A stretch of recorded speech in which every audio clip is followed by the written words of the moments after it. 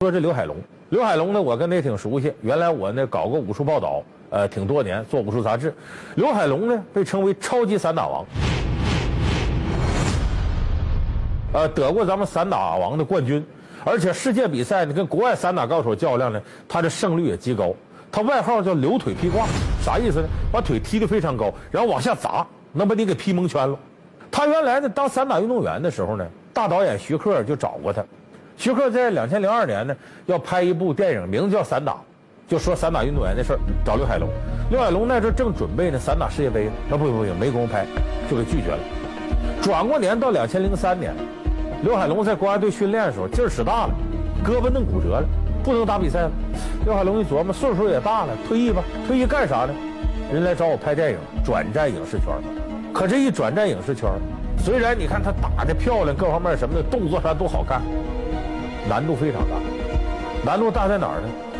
就是他在这个打散打的过程当中，比赛没事儿对方也是专业运动员，也不那么容易打。我得拳拳到肉，我得使劲，一点这个都不能留劲儿，好办。可是当演员不行，跟你演对手戏呢，那不是专业运动员，他是演员，没那么强的抗击打能力。你说你这一使劲把人打坏了咋办呢？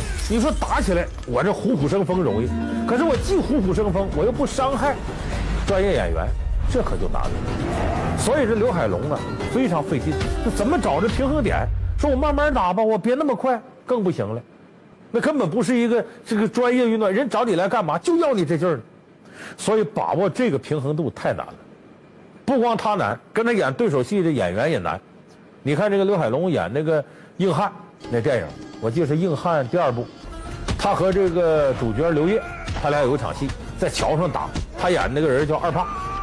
这打的过程当中呢，这段戏非常重要，他就是连续的踢腿，踢这个这个呃刘烨的大腿，然后最后呢，啪一个鞭腿把刘烨踢出去，啊，这段戏很精彩。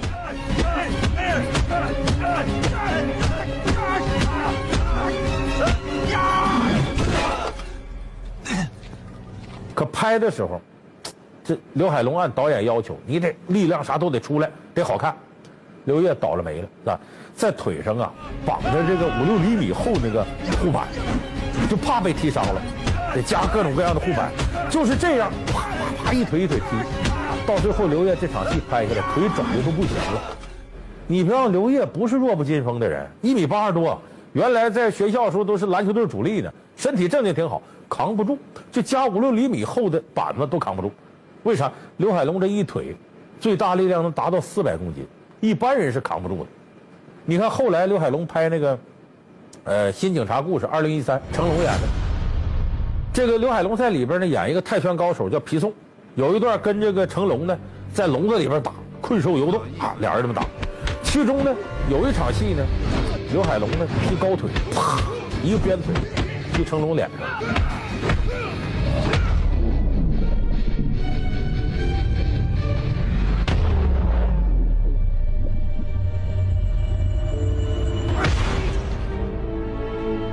你看别的时候说怕出危险搁替身，这时候不行，为啥？有成龙脸特写就得真拍。这刘海龙就害怕了，为啥？这腿力量太大。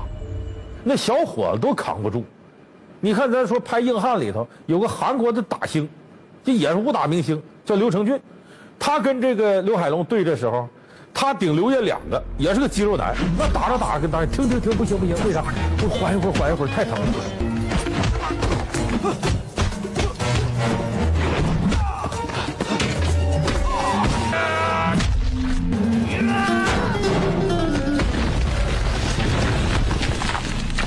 就是所谓的这种功夫明星，跟他打都扛不住。你比如说成龙，这时候都快六十了，所以这刘海龙很担心，说我这要把我这国宝成龙大哥给踢坏怎么办呢？成龙说：“既然用不了替身，你就来，你快点。为啥？咱争取一遍过。你要一遍过不了，多踢我两下，可我可真坏了，可扛不住了。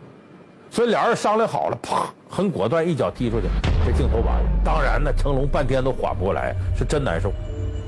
所以你看，刘海龙这散打运动员。